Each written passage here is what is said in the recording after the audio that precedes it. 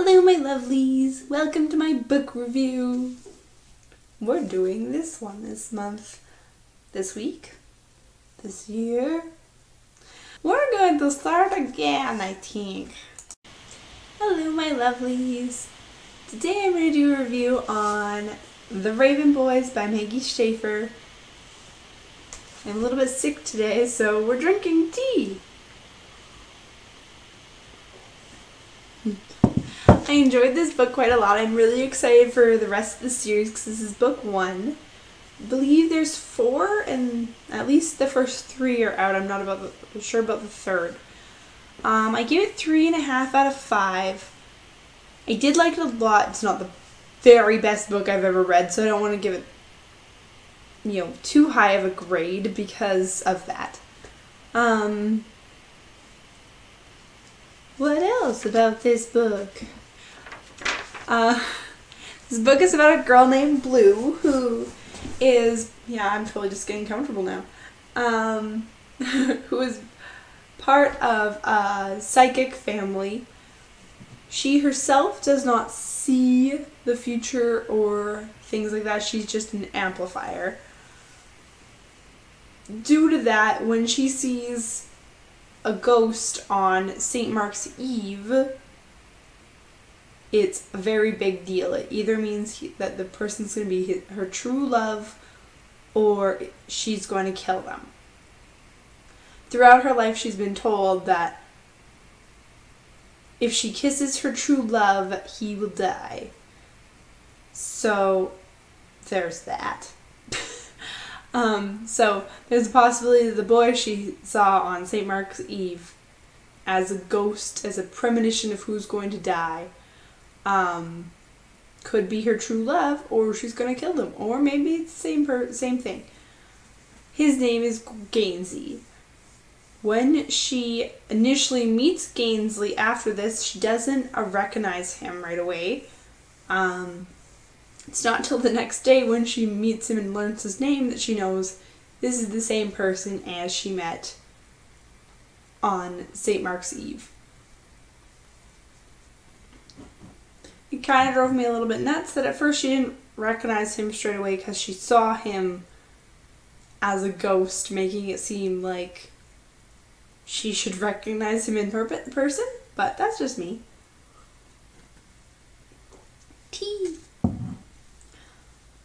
As this book progresses, she becomes friends with not just Gansey, but his group of friends, being Adam, Ronan, and Noah they start spending all of their free time together looking for something that Gansey is very into um, doing to do, doing to do with doing to do with. Yeah these are the words that come out of my mouth. Um, there is these lines of power called ley lines that run around the world. It's something that is based on real beliefs. Um, Gansey is looking for a lost king called Glendowers, and he believes that his body has been moved from Europe area to the States, keeping him on the ley lines, keeping the power in the body, blah blah blah. that's what the main reasoning for their adventuring is through this book is that they're looking for answers and if they can awaken the ley lines and how to do so. They find an area on the ley lines called the Cabeswater. It's a very interesting area where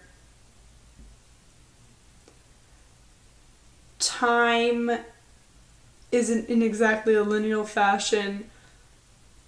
It can be the present to the future to the past at any moment kind of thing.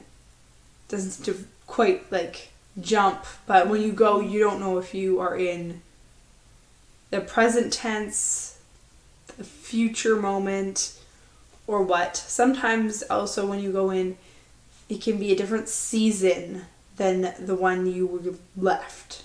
Even while you walk through this area, it can change from spring to summer to fall to winter kind of idea. It was really good. I enjoy it greatly. I'm excited to see where their adventure takes them in the next books. One of the overarching themes in this book is that all of the characters, mostly the main characters, but also some of the side characters, have skeletons in their closet. That little demon inside them that whispers bad things in their ears, almost kind of idea. Where P. Ronan, who you barely get to really know in this book, but he seems a little bit stuck. He doesn't know what to do with his life. Things have happened, and who he is now has changed from when they all became friends originally, the boys. And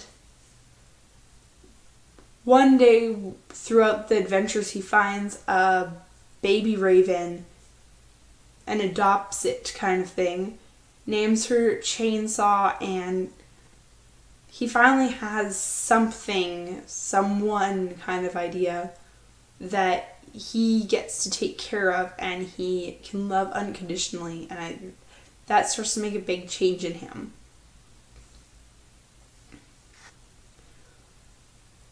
Also with like Adam, he has been controlled by his life by so much with people in it that he refuses to let anybody help him even if the help is based in love because he so very much wants to have control of his own life and decisions.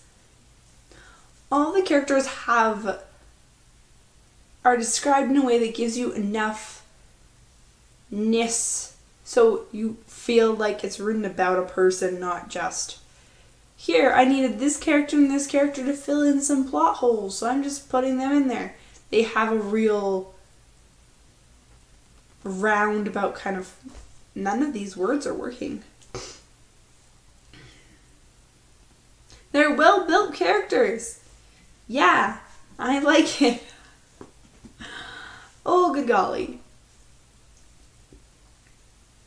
I am excited to read more of these books. I don't know when I'm going to get to them, but maybe in December. Because right now I am trying to read this beast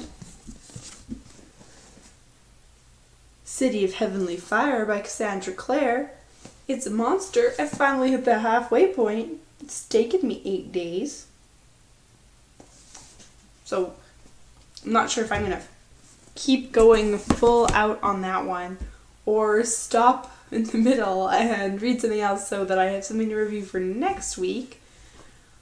Which is pretty important, I feel. You guys want to hear me talk about something? Maybe.